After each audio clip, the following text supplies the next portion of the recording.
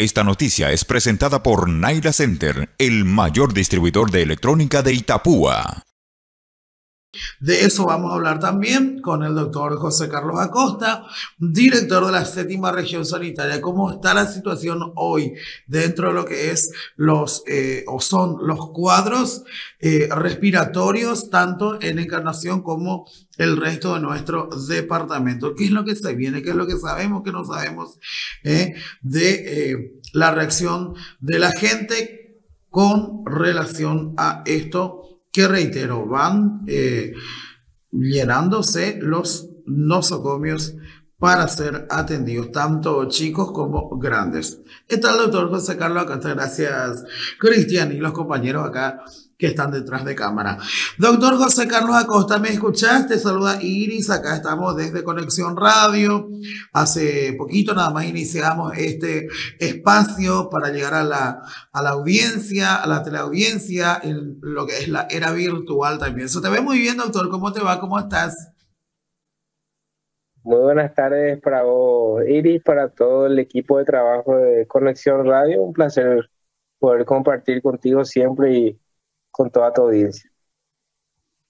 Bueno, preocupada por estos casos que se van registrando en nuestra comunidad. A nivel país, en realidad, van eh, acercándose hasta los hospitales, eh, también lo que tiene que ver IPS, unidades de salud familiar, también están siendo eh, visitados, digamos, por personas que tienen problemas respiratorios, hablamos de chicos especialmente, que son los que están ocupando todas las internaciones también. ¿Es así, doctor?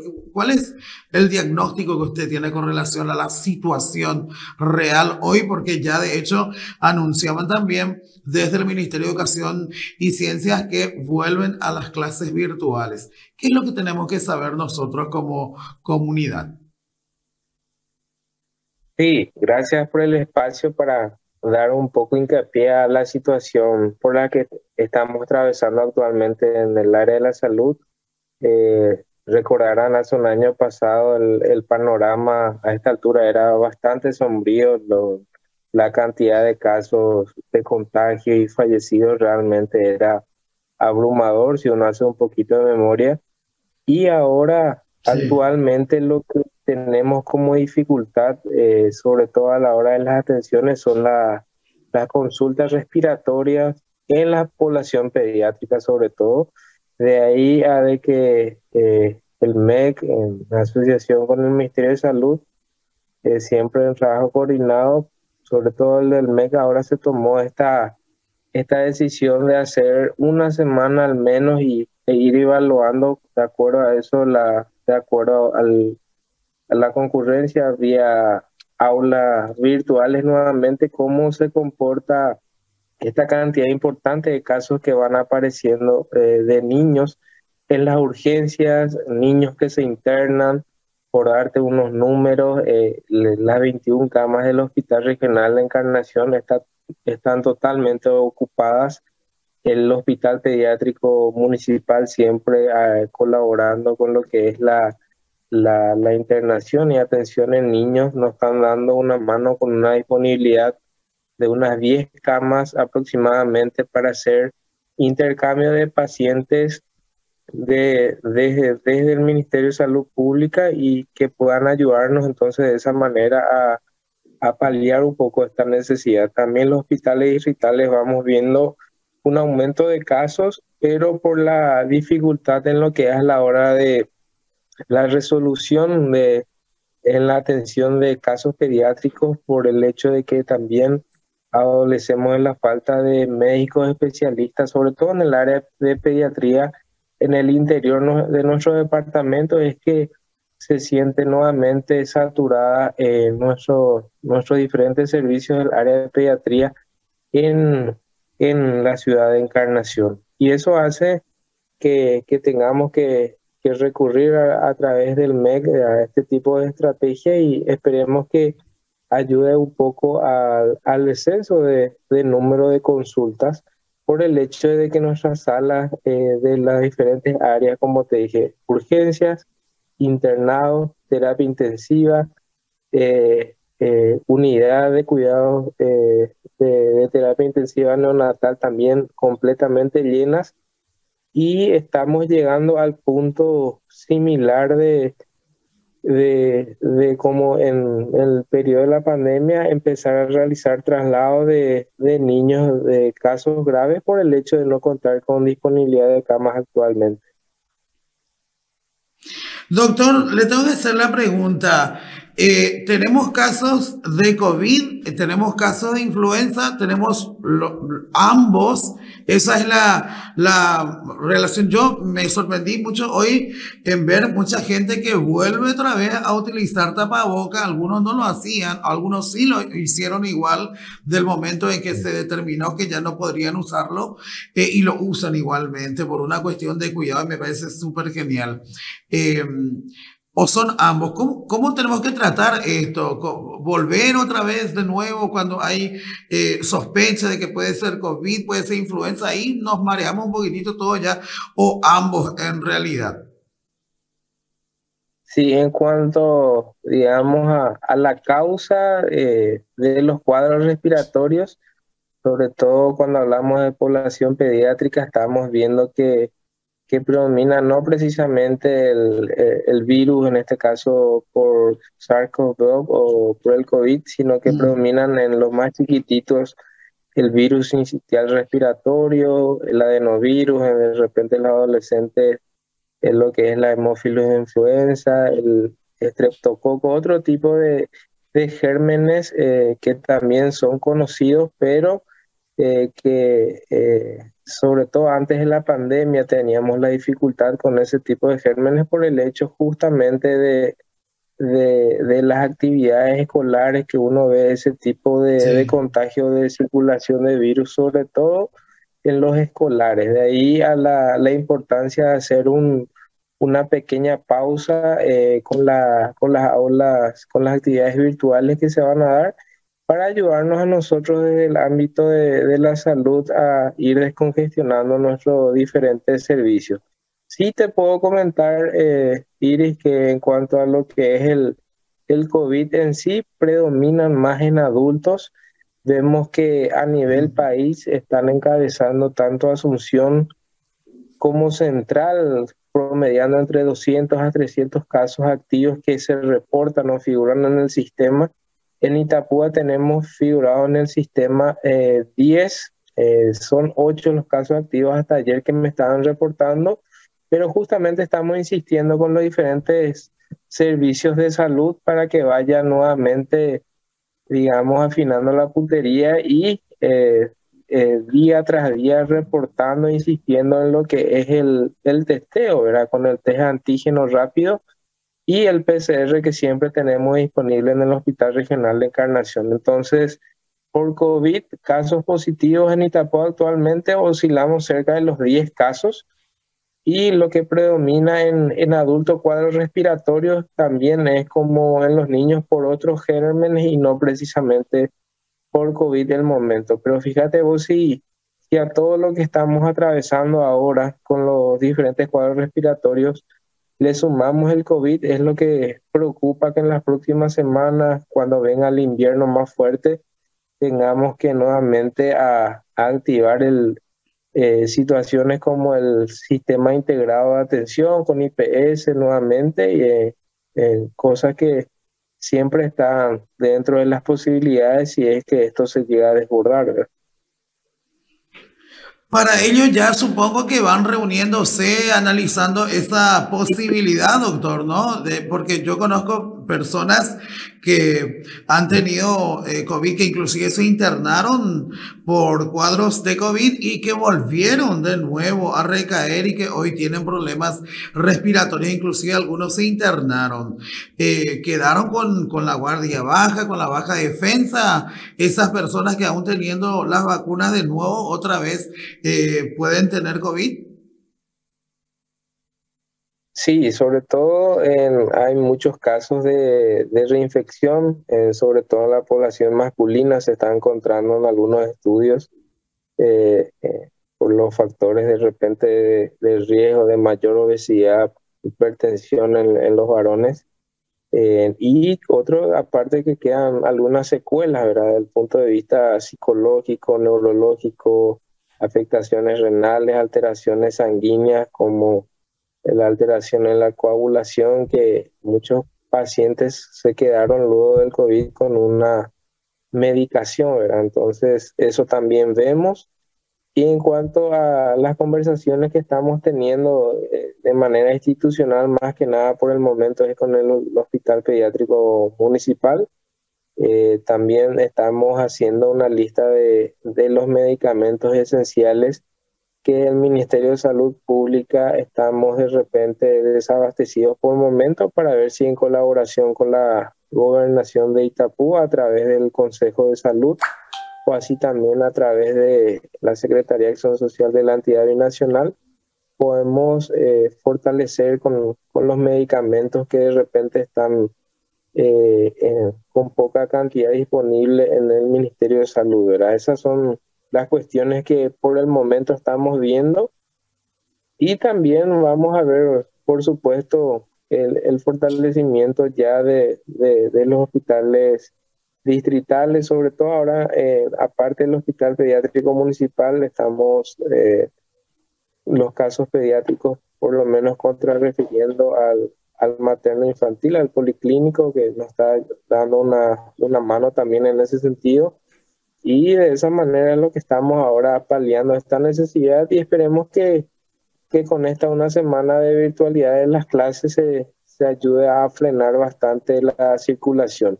Aprovechar también que esta semana de repente los padres puedan acudir eh, con los niños a, a, ponerse al día con la vacunación.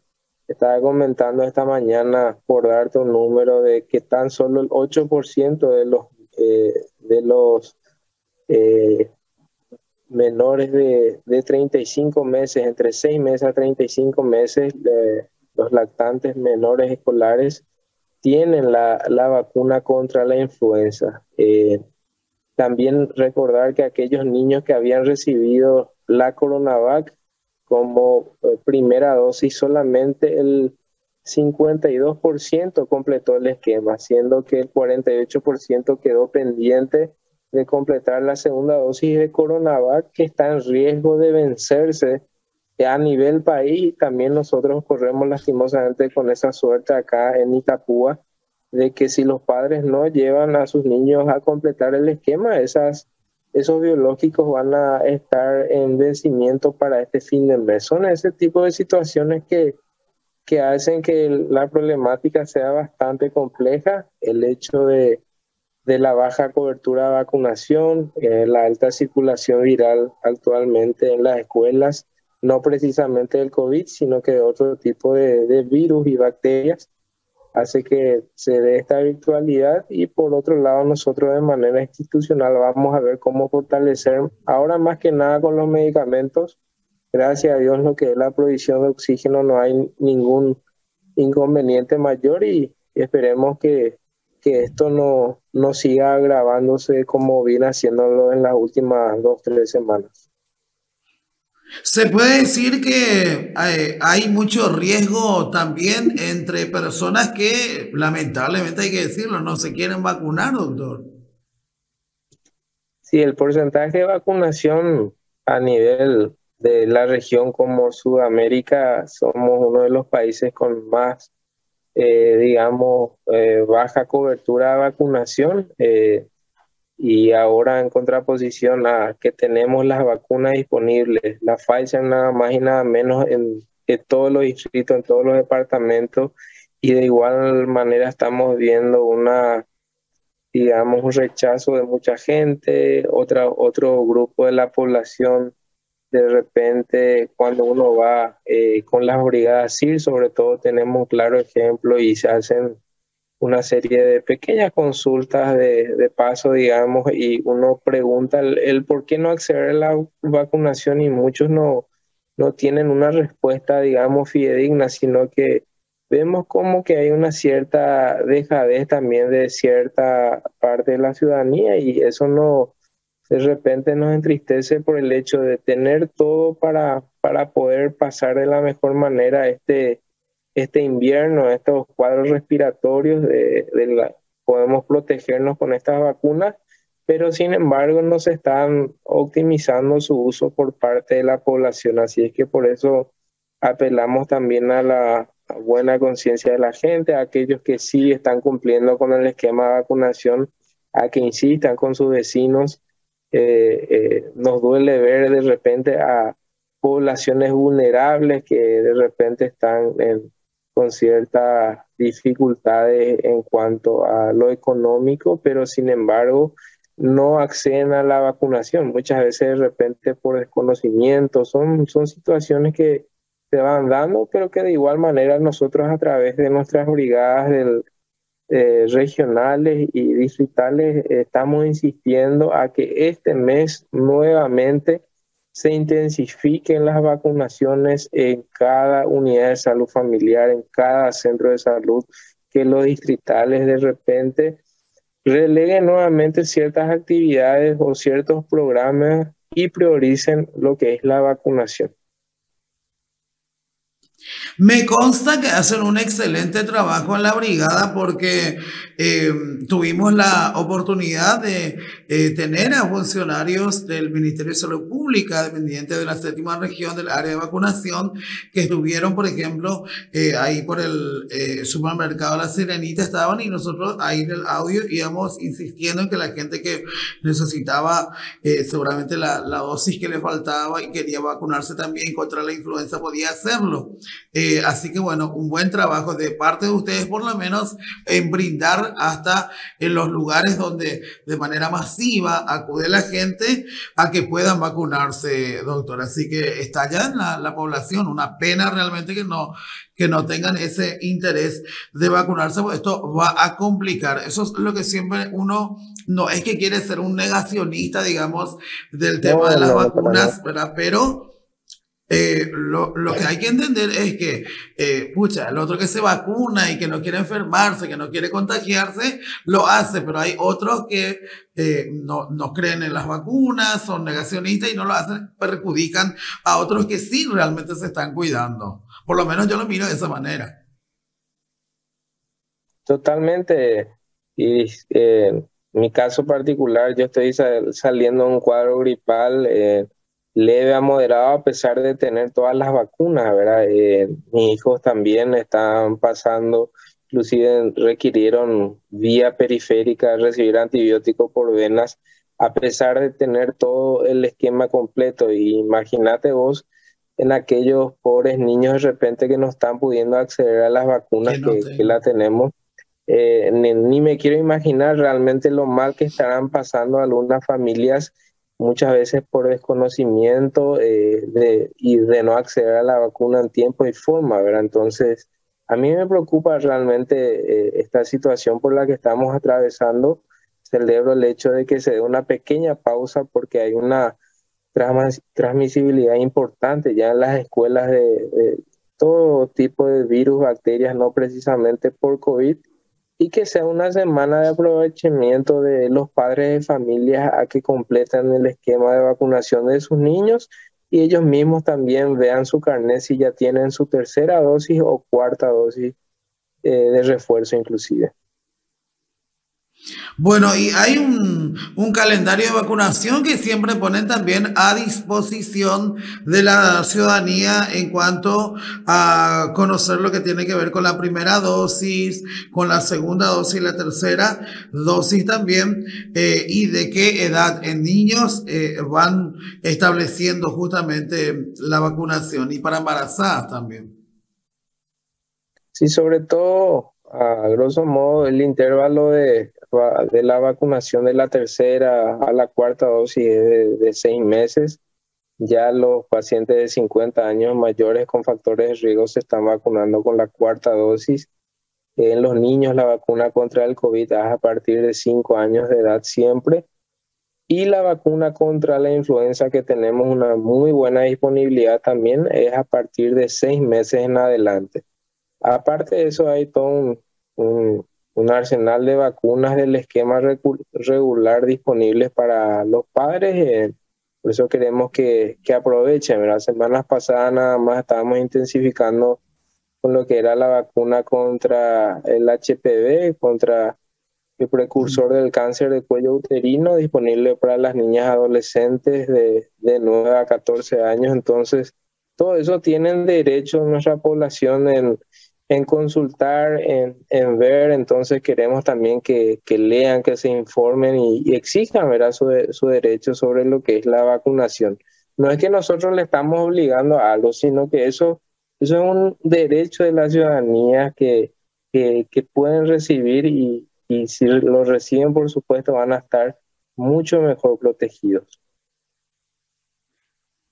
Totalmente. Bueno, doctor, eh, finalmente le tengo que hacer la consulta también porque eh, al margen de que los niños de 5 años que se vacunaron contra el COVID y siempre se dijo que vacunarte, y lo explicaba usted, pues yo le iba a hacer la pregunta, usted solito ya me respondió porque eh, estaba comentando que le toca muy de cerca. Sus hijos también están pasando por un cuadro respiratorio importante. Pero de alguna manera es importante esa vacunación, es una, un, un, digamos, una base para poder atacar un poquitito lo complicado que puede ser eh, el cuadro respiratorio de los niños que se vacunaron contra el COVID. Asimismo, eh, el hecho de estar vacunados no le exime a uno eh, que se va a infectar con tal o cual tipo de virus, habiendo tantas cepas actualmente pero va a estar uno mucho más protegido, ¿verdad? Hay que recordar también que en algunas situaciones la, la vacuna, digamos, no prende como dicen en la jerga popular y de igual manera tienen predisposición a, a enfermarse. Y en otros casos hay algunas complicaciones mínimas, ¿verdad? Eh, también hay que sincerarse de que las vacunas traen un, un, pequeño mínimo porcentaje adverso, sobre todo lo que es dolor local, algún tipo de eh, dolor articular o febrícula, pero no mayor a eso, ¿verdad? Siendo que siempre tenemos la corriente de negacionistas o antivacunas que, que hacen que esos pequeños efectos adversos sean eh, gravísimos supuestamente, pero eso cada vez va cayendo más en, en, picada por el hecho de que los números hablan a favor de la efectividad de, de, las vacunas y recordar siempre, como están en las imágenes ahí de apoyo, el uso de tapabocas, lavarse las manos, eh, ahora con el, el tema de, del invierno también tomar el sol por el hecho de la vitamina D que ayuda a la protección contra algunas infecciones respiratorias, lo que es un buen hábito. Eh, eh, dentro de las comorbilidades tenemos muchísimas personas eh, diabéticas, hipertensas. En estos días estaban reclamando justamente eh, la falta de, de, insulina, por ejemplo.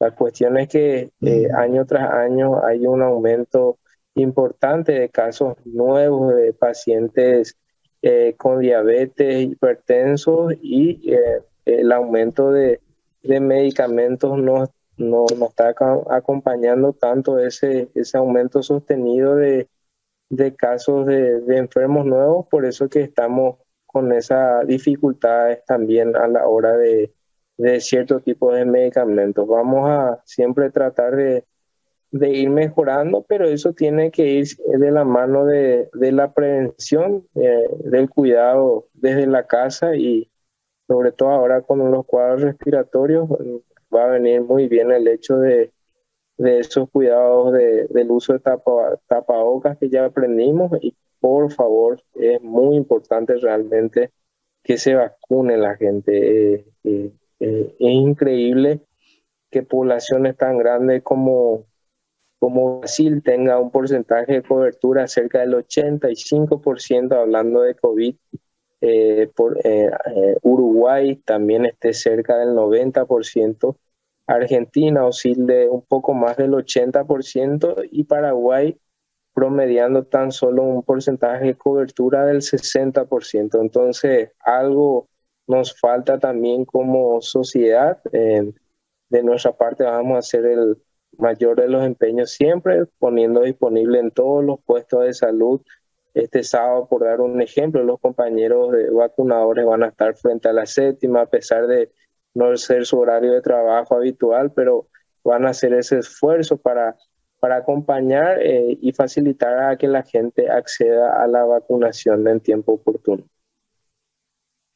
Y la única manera de prevenir es vacunándose realmente una, una pena. ¿Por qué cree usted que se llega a un, apenas, digamos, tenemos un 60% de la cobertura? ¿Qué, ¿A qué alega usted? ¿Cree que debe ser por ignorancia? A veces el factor tema religión influye mucho también, porque hay algunas personas están ligadas también dentro de lo que es la, lo espiritual, digamos, de decir, bueno, que, que, su familia no va a recibir la vacuna. Le ha tocado, ¿qué dicen los funcionarios que salen justamente a hacer ese trabajo de campo in situ? Sí, sobre todo lo que vemos ya luego de unos meses disponible la vacuna en cada rincón del país, en nuestro, nuestro departamento también, lo que más vemos es esa falta de justificación y de interés por, por un grupo de la ciudadanía. Repito, eh, el 60%, un poco más de la mitad de las personas son responsables, cumplen con el esquema de vacunación, pero lastimosamente por culpa de ese 40% es que seguimos en riesgo de, de, todo tipo de infecciones y las respiratorias sobre todo. Entonces, es más eh, que nada actualmente por la, por la falta de interés de un grupo de la población a que estamos tropezando. Eh, de nuestra parte también, obviamente, eh, buscamos la manera de, de ser mucho más eh, accesible y tener mayor disponibilidad de, tiempo y de brigadas para poder acercar a las personas porque dentro de las estrategias la que más me convence actualmente para seguir actuando de, dentro de nuestro departamento es la visita casa por casa, ¿verdad? Porque es impresionante ir y cómo vemos mucha gente que no acude a, su salita, como muchos dicen, por el hecho de estar esperando un vacunador en su domicilio. Y, vamos a ver, vamos a seguir insistiendo. La Brigada del CIR, que es un apoyo de, internacional del gobierno de Estados Unidos, es un grupo de, de 15 personas que están recorriendo y haciendo un trabajo espectacular en los distritos más densamente poblados, donde vamos a tener impacto eh, siempre Encarnación, Cambonetá, estaban recorriendo la comunidad Coronel Bogado, Alto Verá, Mario Auxiliadora, realmente una ronda por los más poblados y, seguimos de esa manera, ¿verdad? insistiendo con nuestra gente para que salga a vacunar. Eh, conceptualmente sabemos que la unidad de salud familiar los días martes y jueves deben hacer sus actividades extramurales, tanto los médicos, enfermeros como agentes comunitarios y estamos viendo si de esa manera eh, esos dos días dedican exclusivamente a la vacunación, aparte de otro tipo de actividades como toma de presión, eh, consultas domiciliarias de los personales blancos en la unidad de salud familiar en todos los distritos del departamento de Itapúa.